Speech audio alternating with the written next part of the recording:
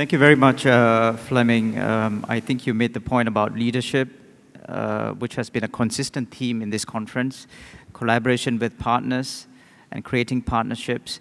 And also you made a reference to Sustainia, um, and I went to that exhibition, and uh, as I understand it, it in a sense makes the case for integrated urban strategies because it cuts across sectors. It's not just focused on specific sectors. So thank you for your comments.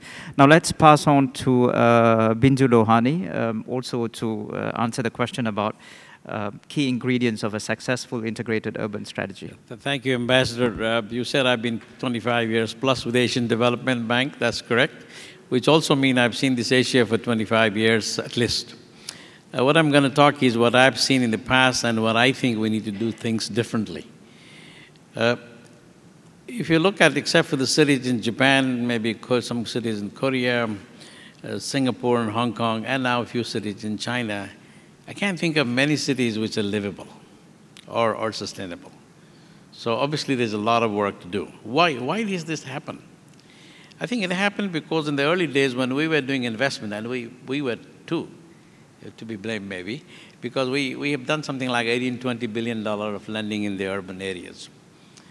Uh, and even today we do 15 billion dollars, 70 percent of that goes to really uh, infrastructure and quite urban. In the past, quite a bit of this is driven by these sectors. Whether we like or not, the sector plans and sector authorities are so strong, transport, uh, the water, the energy, uh, and therefore they drove the budget. There was nothing like uh, a comprehensive planning that for which the money would be allocated accordingly. Those line agencies were very, very strong and powerful. And in many cases, there might not have been even a master plan, but there would have been a sector plan. But even where there were master plan, uh, they wouldn't get implemented. They wouldn't be executed. Uh, some one uh, mayors would come and another will change it, whether it's the right thing to do or not. So the, the point made before, and which came up very clearly in this uh, city seminar, which I'm happy, therefore the leadership and the governance issue really did not uh, match with the need that was needed to put it together. I fully agree with what the previous speaker said. Uh, we also focus quite a bit on the megacities, the huge megacities with more than 10 million population. And on day one, you are we are still catching up. There has neither been enough investment on any of the sectors nor the whole plan. So the catching up game continues to be, as a result, it's never caught up. And, and whereas the urbanization has taken place, therefore you have slums, sometimes 20%, 25% in the urban areas, because it, the, the infrastructure never got caught up even where it was planned.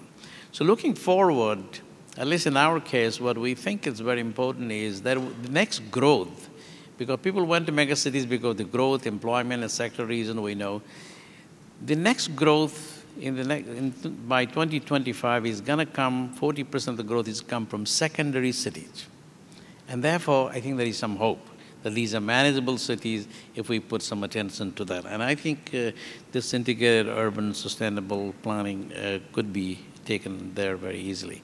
Now, you asked a couple of um, ingredients. Uh, I think one of the most ingredient to me is still the city plan. Uh, and, and, I'm looking at uh, Dr. Liu, probably the master uh, of the city plan, been, been liked him for what he does. And therefore, the, when we think of big urbanization, let's just think about a city plan and think city like an ecosystem, that ecosystem, that at think like a system, that all specific elements of these are captured in that plan. And including the people, by the way, which also came up many times in the seminar, the importance of involving the public, which uh, 25 years ago, let me tell you, we didn't involve so much. We told them what to do. Uh, so our approach looking forward is going to be uh, basically thinking of this integrated planning uh, urban strategy based on three key ingredients. One, inclusiveness. Uh, whether you talk about the slums that's already present or including the uh, people, and there are again good examples that we have seen in Singapore. And second, competitiveness. We got to have, we got to keep on creating jobs, be the city useful for business, uh, etc., and the environment. Environment sustainability, whether you take climate change or air pollution, other things. Uh, so looking forward, therefore, the bank Is now rewriting his own urban policy to say we will help these cities to make a city plan.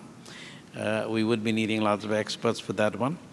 And, and towards that, we'll also need to build a lot of capacity, whether it's on governance or leadership or doing the things right, for which we are geared that we will do that. And final point I'd like to make on this one, uh, in this seminar has been so rich and, and so much knowledge has been put in. I think one of the things we need to think about is the knowledge sharing.